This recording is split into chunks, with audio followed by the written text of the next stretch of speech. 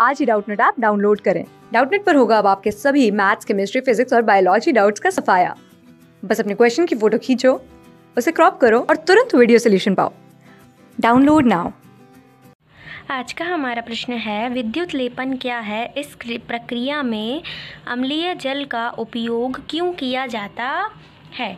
देखो, प्रश्न हमसे क्या कह रहा है? विद्युत लेपन।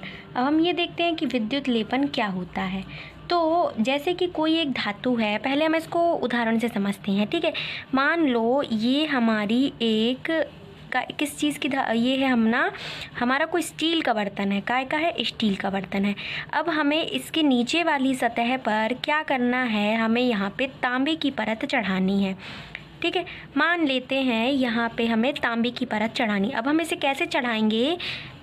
ऐसा तो है नहीं कि ये कोई कागज़ हो तो हम इसमें कुछ लगा के और इसके ऊपर चिपका देंगे, ऐसे नहीं होगा। तो इस पर हमें तांबे की परत चढ़ानी है तो हमें ये करने के लिए विद्युत लेपन का सहारा लेना होगा। हमें इस पर तांबे की परत का विद्युत लेपन करना होगा, तब कहीं जाकर ये स्टील की परत पर तांबे की परत चढ़ेगी। तो अब देखो क्या होता है विद्युत लेपन। किसी धातु की सतह पर किसी धातु की सतह पर किसी अन्य धातु का,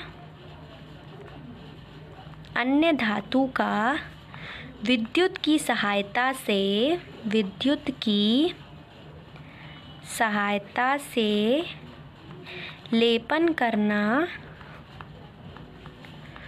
विद्युत लेपन कहलाता है। विद्युत लेपन कहलाता है। ठीक है, अब ये देखो कि इसमें अम्लीय जल का उपयोग क्यों किया जाता है?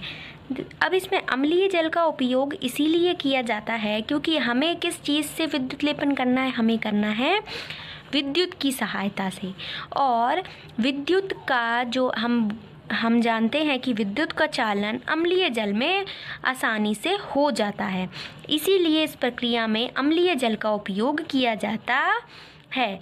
क्यों किया जाता है अम्लीय जल का उपयोग? क्योंकि अम्लीय जल अम्लीय जल में विद्युत का प्रवाह, विद्युत का प्रवाह आसानी से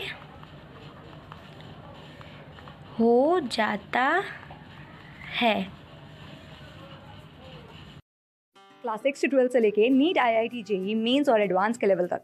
दस मिलियन से ज़्यादा स्टूडेंट्स का भरोसा। आज ही डाउनलोड करें डाउट नेट आप या व्हाट्सअप कीजिए अपने डाउट्स आठ चार सौ चार सौ चार सौ पर।